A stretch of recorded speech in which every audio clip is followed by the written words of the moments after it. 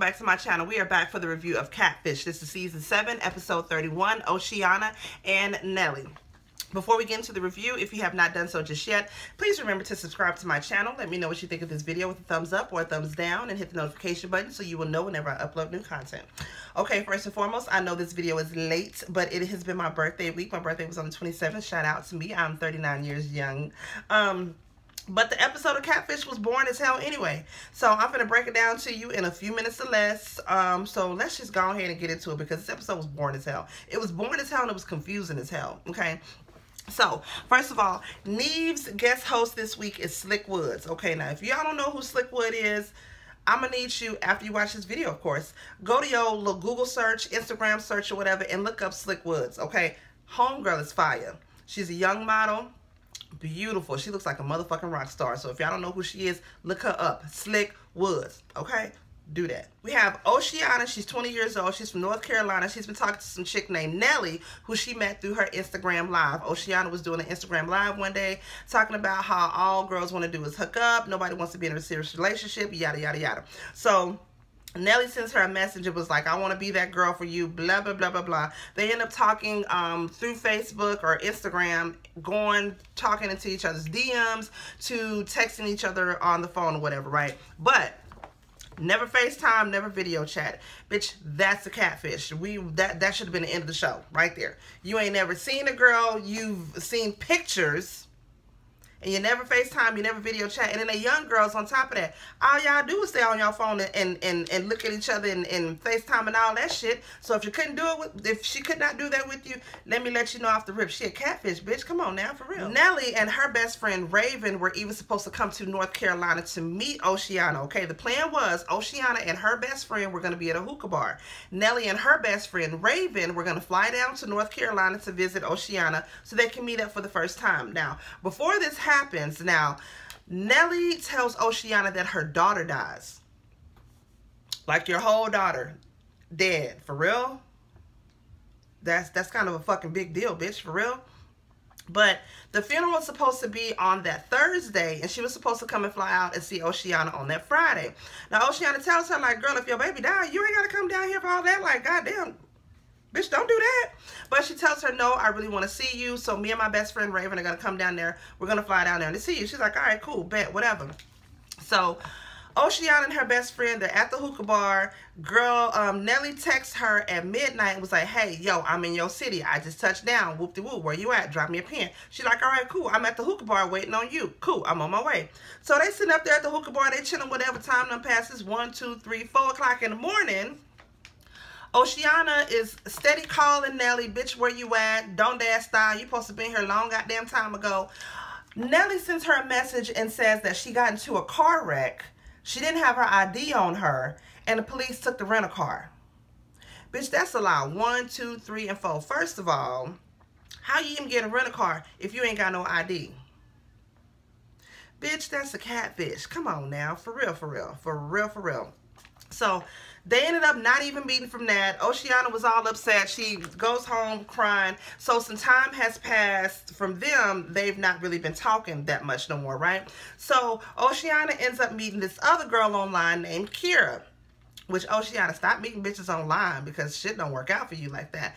But she ends up meeting this girl named Kira online and um, her and Kira, they ended up getting into a relationship. Again, they never seen each other, but they have FaceTime, they video chat. So she knows that Kira is for real, right?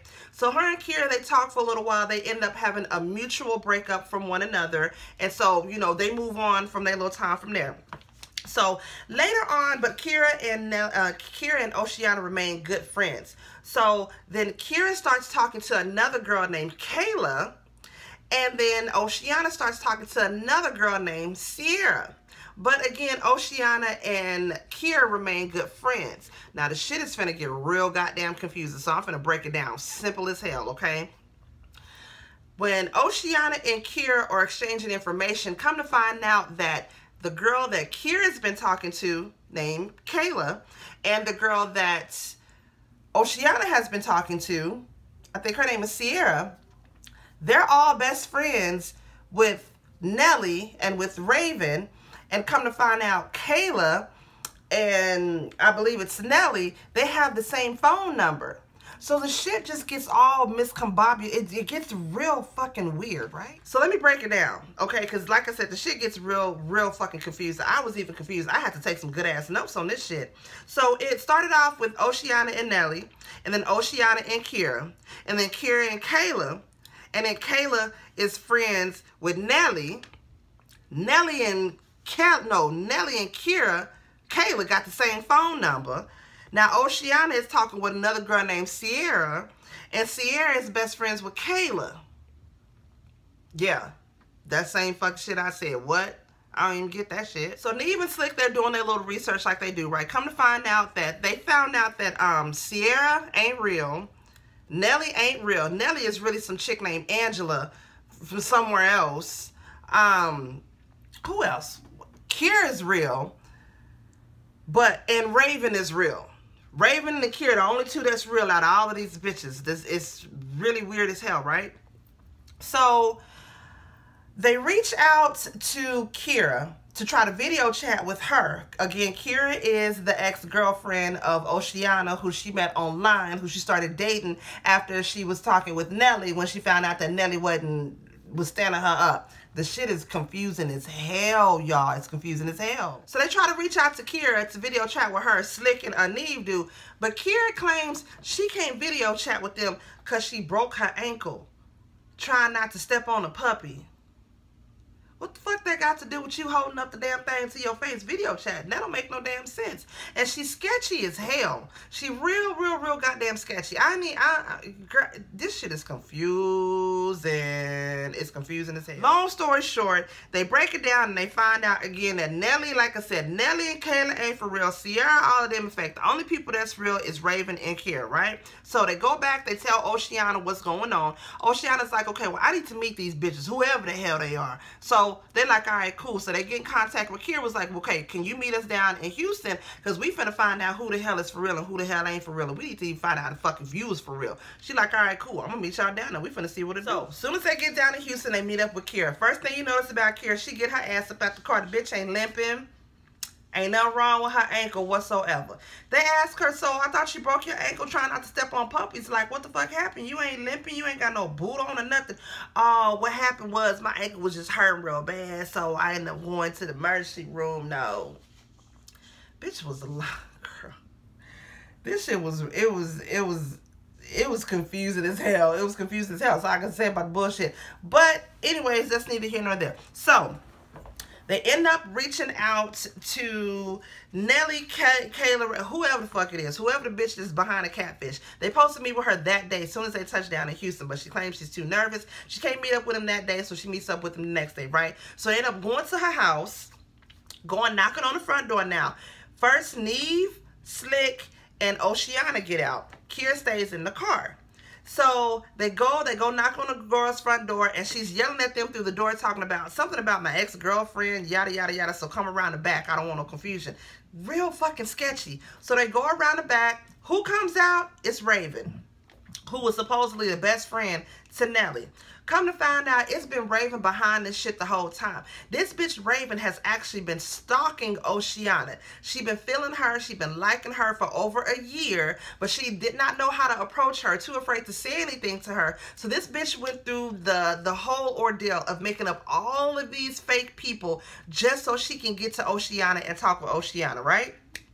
So Oceanna, of course, she's upset. She's crying the blues. Why you do this? Yada, yada, yada. Then Raven even got the nerve to get defensive and be like, well, if y'all keep kind of like y'all putting me up against the wall, y'all back me in a corner. And when I get like this, I'm just going to walk away and I'm just going to shut down. I'm just going to be done with the shit. Bitch, you can't be mad because they coming in front of you because you sitting up here catfishing bitches.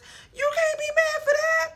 Girl, uh. But she tells him the reason why she does that is because her wife had cheated on her. And so they were going through hard times. And so her wife had it was dumb as hell right? Dumb as hell. So they asked her what is this shit about you saying you had a baby that died? Like what's up with that?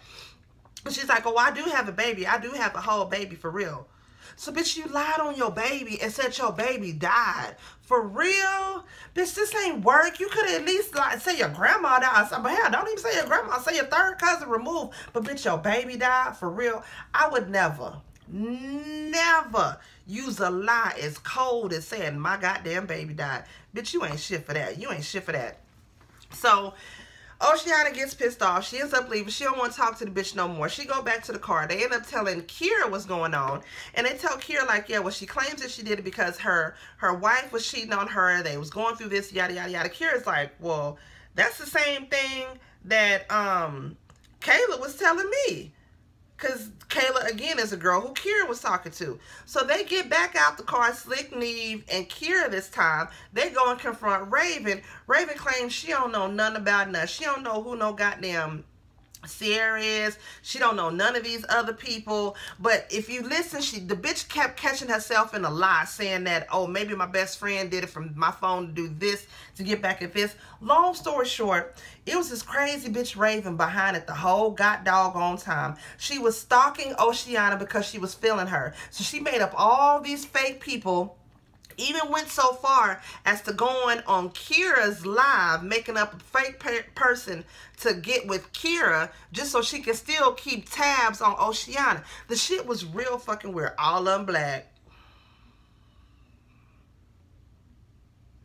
I hear on this dumb shit. Like I said, this episode was a watch worthy.